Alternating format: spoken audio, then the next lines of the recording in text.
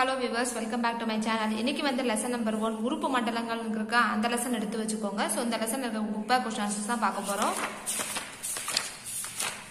பாருங்க page number one naught eight எடுத்து வச்சுக்கோங்க. எடுத்துட்டீங்கன்னா ஃபர்ஸ்ட் பாருங்க. மனித உணவு பாதையின் நீளம் என்னன்னு இருக்கா? இதுக்கான சரியான ஆன்சர் பாத்தீங்கன்னா ஆப்ஷன் ஈனால இருக்கு பாருங்க. அதை நோட் பண்ணிக்கோங்க. அடுத்து பாருங்க. சுவாசத்துடன் தொடர்புடைய உறுப்பு எதுன்னு இருக்கா? நுரையீரல்கள்னு இருக்கு பாருங்க. அதை நோட் பண்ணிக்கோங்க. நமது உடலில் எத்தனை சிறுநீரகங்கள் உள்ளன இருக்கா எத்தனை சிறுநீரகம் இருக்குன்னா ரெண்டு சிறுநீரகங்கள் இருக்கு ஸோ ஆப்ஷன் ஆள் இருக்கு பாருங்க அதை நோட் பண்ணிக்கோங்க. அடுத்து பாருங்க ஃபோர்த் ஒன் வேர்டு மூளையின் செயல்பாட்டு அழகு டேஸ்னு இருக்கா? அதுக்கு ஆன்சர் பாத்தீங்கன்னா நியூரான் இருக்கு பாருங்க அதை நோட் பண்ணிக்கோங்க. ரத்தத்தை உந்தி தள்ளுவது எதுன்னா இதயம் தான். ஆப்ஷன் அவனால இருக்கு பாருங்க அதை நோட் பண்ணிக்கோங்க.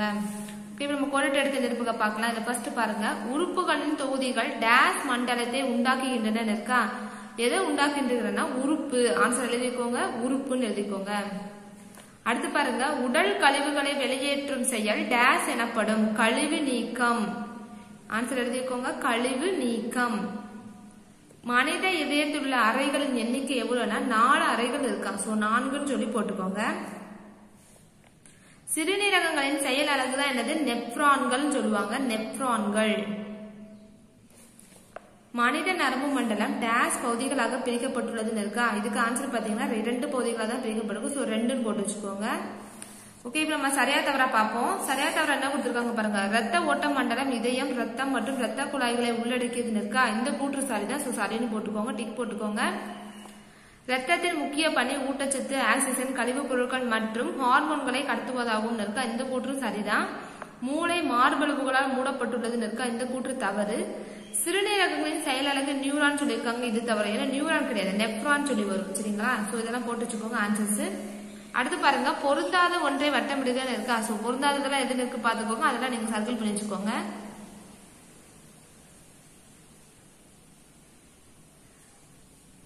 அடுத்து இப்ப நம்ம பொறுத்துக்க பார்க்கலாம். செரிமான மண்டலம்னு இருக்கா? செரிமான மண்டலம் உணவு குழாய்னு இருக்கு பாருங்க அதை நோட் பண்ணிக்கோங்க. சுவாச மண்டலத்துக்கு நுரையீரல் ரத்த ஓட்ட மண்டலத்துக்கு வந்து இதயம் கழிவு மண்டலம் சிறுநீரகம் நரம்பு மண்டலம் மூளை. ஸோ நம்பர் போட்டு வச்சுக்கோங்க. நாலு அஞ்சு ஒன்னு மூணு ரெண்டுன்னு போட்டுக்கோங்க. அப்பதான் உங்களுக்கு படிக்கும்போது ரொம்ப ஈஸியா இருக்கும்.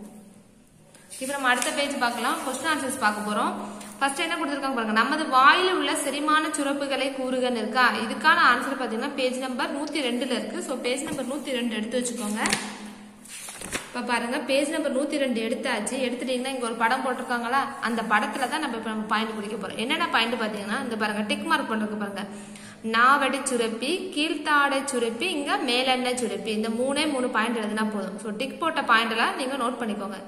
நாவடி சுரப்பி கீழ்த்தாடை சுரப்பி மேலெண்ணெய் சுரப்பி. இந்த மூணு பாயிண்ட் தான் ஃபர்ஸ்ட் கொஸ்டினோட ஆன்சர் நோட் பண்ணிக்கோங்க.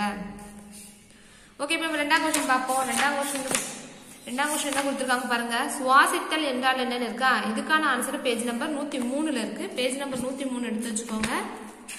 பாருங்க பேஜ் நம்பர் நூத்தி மூணு எடுத்துட்டீங்கன்னா மேல பாருங்க சுவாச மண்டலம்னு வெட்டிங் கொடுத்துருக்காங்களா? அதுக்கு கீழே பாருங்க. சுவாச மண்டலமானதுன்னு சொல்லி ஒரு லைன் ஸ்டார்ட் ஆதா ஸோ அதுல இருந்து இங்க பாருங்க வெளியேற்றுகிறதுன்னு சொல்லி முடியுது பாருங்க. அது வரைக்கும் செகண்ட் கொஸ்டினோட ஆன்சர் நோட் பண்ணிக்கோங்க.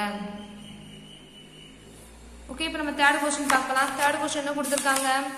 பெரிகார்டியல் திரவத்தின் பணி என்னன்னு இருக்கா இதுக்கான ஆன்சர் பேஜ் நம்பர் நூத்தி நாலுல இருக்கு. ஸோ பேஜ் நம்பர் நூத்தி நாலு எடுத்துட்டீங்கன்னா பாருங்க இதயம் சொல்லி கெட்டிங் கொடுத்துருக்காங்களா? அதுக்கு கீழே இதயம்னு இருக்கா ஸோ இந்த இதயத்துல இருந்து ஸ்டார்ட் பண்ணி இங்க இங்க பாருங்க பாதுகாக்கிறதுன்னு சொல்லி முடியும். இந்த இதயத்துல இருந்து ஸ்டார்ட் பண்ணி இங்க பாருங்க பாதுகாக்கிறதுன்னு சொல்லி முடியுதா? அது வரைக்கும் தேர்ட் கொஸ்டோட ஆன்சர் நோட் பண்ணிக்கோங்க. இதுல இருந்து ஸ்டார்ட் பண்ணி இது வரைக்கும். ஓகே இப்போ நம்ம ஃபோர்த்து கொஸ்டின் பார்ப்போம். ஃபோர்த்து கொஸ்டின் கொடுத்துருக்காங்க பாருங்க. இதய அறைகளின் பெயர்களை கூறுகள் இருக்கா? இதுக்கான ஆன்சர் பேஜ் நம்பர் நூத்தி அஞ்சுல இருக்கு. ஸோ பேஜ் நம்பர் நூத்தி அஞ்சு எடுத்துக்கிடுவோம் பாருங்க பேஜ் நம்பர் நூத்தி அஞ்சு எடுத்தாச்சு. எடுத்துட்டீங்கன்னா மேல பாத்தீங்கன்னா இதயமானதுன்னு சொல்லி ஸ்டார்ட் ஆதா ஸோ அந்த பாயிண்ட்ல இருந்து ஸ்டார்ட் பண்ணி இங்க பாருங்க என்றழைக்கப்படுகின்றதுன்னு சொல்லி முடியுது பாருங்க. இங்க மூணாவது பாயிண்ட்ல இது வரைக்கும் ஃபோர்த்து கொஸ்டினோட ஆன்சர் இதயமானதுல இங்க ஸ்டார்ட் ஆகுது பாருங்க. ஸோ இதுல இருந்து இங்க பாருங்க என்றழைக்கப்படுகின்றனன்னு சொல்லி முடியுதா? இது வரைக்கும் ஃபோர்த்து கொஸ்டினோட ஆன்சர் நோட் பண்ணிக்கோங்க. ஓகே இப்போ நம்ம ஃபிஃப்த் கொஸ்டின் பார்ப்போம். ஃபிஃப்த் என்ன கொடுத்துருக்காங்க? கழிவு நீக்க உறுப்புகளை வரிசைப்படுத்துகன்னு இருக்கா? இங்க பாருங்க நான் நம்பர் எது ஃபர்ஸ்ட் வரும் போட்டுக்கும் பாருங்க. ஃபர்ஸ்ட் சிறுநீரகம் வரும். ரெண்டாவது சிறுநீரக குழாய். மூணாவது சிறுநீர் பை. அடுத்ததான் சிறுநீர் புறவெளி ஸோ நம்பர் போட்டு வச்சுக்கோங்க சரிங்களா? அடுத்து பாருங்க தானியங்கு நரம்பு மண்டலத்தின் இரு பணிகள் யாவேன்னு இருக்கா? இதுக்கான ஆன்சர் பேஜ் நம்பர் நூத்தி எட்டுல இருந்து ஸோ பேஜ் நம்பர் நூத்தி எட்டு எடுத்துக்கோங்க. எடுத்துட்டீங்கன்னா இங்க பாருங்க இந்த பேஜ் நம்பர் நூத்தி எட்டுல மதிப்பீடுன்னு சொல்லி கொடுத்துருக்காங்களா? அதுக்கு மேல பாத்தீங்கன்னா இங்க பாருங்க தானியங்குன்னு சொல்லி ஒரு லைன் ஸ்டார்ட் ஆகுது பாருங்க. ஸோ இந்த தானியங்கள்ல இருந்து ஸ்டார்ட் பண்ணி இங்க கட்டுப்படுத்திக்கிறதுன்னு சொல்லி முடியுதா? அது வரைக்கும் சிக்ஸ்த் கொஸ்டினோட ஆன்சர் நோட் பண்ணிக்கோங்க. இந்த மதிப்பீட்டுக்கு மேலதான் இருக்கும். ஸோ இந்த தானியங்கள்ல இருந்து ஸ்டார்ட் பண்ணி இங்க கட்டுப்படுத்திக்கிறது முடியுதா. அது வரைக்கும் சிக்ஸ்த் கொஸ்டினோட ஆன்சர் நோட் பண்ணிக்கோங்க. ஓகே இப்போ நம்ம செவன்த் கொஸ்டின் பார்ப்போம். புக் கொஸ்டின் எடுத்து வச்சுக்கோங்க. என்ன கொடுத்துருக்காங்க? ரத்தத்தின் பணிகள் யாவைன்னு இருக்கா? இதுக்கான ஆன்சரும் பேஜ் நம்பர் நூத்தி அஞ்சுல தான் இருக்கு. ஸோ பேஜ் நம்பர் நூத்தி அஞ்சு எடுத்துக்கோங்க. ஸோ எடுத்துட்டீங்கன்னா ரத்தம் சொல்லி ஹெட்டிங் கொடுத்துருக்காங்க பாருங்க. அந்த ஹெட்டிங்ல ரத்தத்துல இருந்து இங்க ஸ்டார்ட் பண்ணி இங்க பாருங்க தள்ளப்படுகிறதுன்னு சொல்லி முடியுதா? அது வரைக்கும் செவன்த் கொஸ்டினோட ஆன்சர் நோட் பண்ணிக்கோங்க. ஸோ இந்த ரத்தத்துல இருந்து ஸ்டார்ட் பண்ணி இங்க தள்ளப்படுகிறதுன்னு சொல்லி முடியுது பாருங்க. அது வரைக்கும் செவன்த் கொஸ்டினோட ஆன்சர் நோட் பண்ணிக்கோங்க. ஓகே இப்போ நம்ம அடுத்து பார்க்கலாம். நம்ம டூ மார்க் எல்லாமே கம்ப்ளீட் பண்ணிட்டோம். ஏழு கொஸ்டினுமே நீங்க பேஜ் நம்பரே போட்டு வச்சுக்கோங்க. அப்பதான் உங்களுக்குமே படிக்கும்போது ரொம்ப ரொம்ப ஈஸியாவே இருக்கும். ஓகே இப்போ நம்ம ஃபைவ் மார்க் கொஸ்டின் பார்ப்போம். ஃபைவ் மார்க் கொஸ்டின் என்ன கொடுத்துருக்காங்க பாருங்க ஃபர்ஸ்ட் கொஸ்டின் செரிமான மண்டலத்தின் பணிகள் யாவேன்னு இருக்கா இதுக்கான ஆன்சர் பேஜ் நம்பர் நூத்தி ஒன்றில் இருக்கு. பேஜ் நம்பர் நூத்தி ஒன்னு எடுத்து வச்சுக்கோங்க.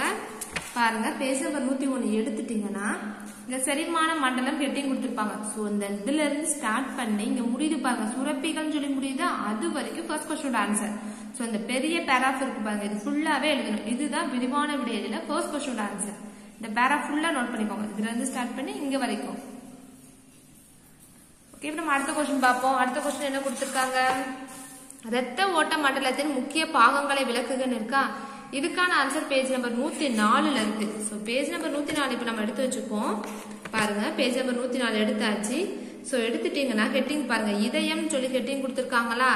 ஸோ அதுல இந்த இதயத்துல இருந்து இங்க ஸ்டார்ட் பண்ணி நல்லா பாருங்க.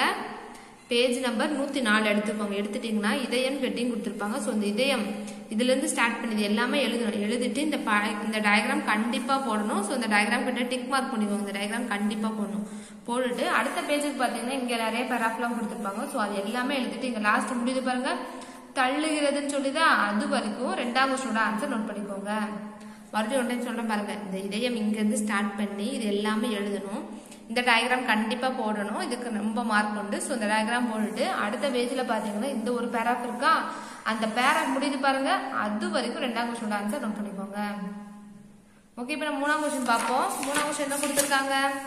மனித மூளையின் மூன்று முக்கிய பாகங்கள் விளக்குகன்னு இருக்கா இதுக்கான ஆன்சர் பேஜ் நம்பர் நூத்தி ஏழுல இருக்கு. பேஜ் நம்பர் நூத்தி ஏழு எடுத்து வச்சுக்கோமா பாருங்க பேஜ் நம்பர் நூத்தி ஏழு எடுத்தாச்சு. எடுத்துட்டீங்கன்னா பாருங்க மைய நரம்பு மண்டலம் கொடுத்து ஹெட்டிங் கொடுத்துருப்பாங்க. அதுக்கு கீழே இங்க பாத்தீங்கன்னா இங்க பாருங்க மனித மூளைன்னு சொல்லி இங்க ஒரு லைன் ஸ்டார்ட் ஆகுது பாருங்க.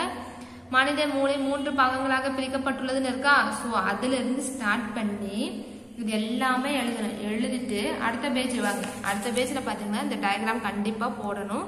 இந்த டயக்ராம் போட்டு முடியுது பாருங்க. இது வரைக்கும் மூணாவது கொஸ்டினோட ஆன்சர் அதாவது விரிவான விடையில மூணாவது கொஸ்டின் ஆன்சர் இதோட முடியுது. மறுபடியும் ஒரு டைம் சொல்றேன் பாருங்க. பேஜ் நம்பர் நூத்தி ஏழு எடுத்துட்டீங்கன்னா இங்க பாருங்க இந்த டயக்ராம் கீழே பாத்தீங்கன்னா மனித மூளைன்னு சொல்லி லைன் ஸ்டார்ட் ஆதா ஸோ அதுல இருந்து நம்ம ஸ்டார்ட் பண்ணி இந்த மூணு பாகங்கள் எழுதணும். முன்மூளை நடுமூளை பின்மூளை. இது எல்லாமே எழுதணும். அதோட பிரீஃபா விரிவாக்கம் பண்ணிட்டு பின்னாடி இந்த டயக்ராம் கண்டிப்பா போடணும். இந்த படத்தையும் போட்டு இந்த படத்தோட முடிச்சிடுங்க இது வரைக்கும் விரிவான விடையில தேர்ட் கொஸ்டினோட ஆன்சர் சரிங்களா? ஓகே இப்போ நம்ம ஃபோர்த்து கொஸ்டின் பார்ப்போம்.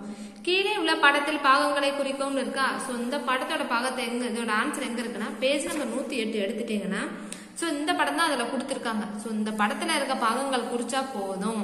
ஸோ இந்த படத்தை நீங்க பார்த்தாலே போதும். இதுதான் விரிவான விடையறில நாலாவது கொஸ்டினோட ஆன்சர் இந்த படம் தான் அதில் கொடுத்துருப்பாங்க. நல்லா பாருங்க இந்த படத்தை பார்த்துட்டீங்களா? இப்போ பாருங்க. அதே தான் கொடுத்துருக்காங்களோ? ஸோ இந்த படத்தில் இருக்க பாகத்தை தான் குறிக்க சொல்லியிருக்காங்க. இந்த படத்தில் இருக்க பாகத்தை தான் எழுதியிருக்கு. ஸோ இந்த பாயிண்ட்ஸ் எழுதுனா போதும். ஸோ இந்த லெசனை பொறுத்த வரைக்கும் அவ்வளவுதான் கொஸ்டின் ஆன்சர் அடுத்த வீடியோவில் வந்து நம்ம அடுத்த பாடத்தை பார்ப்போம்.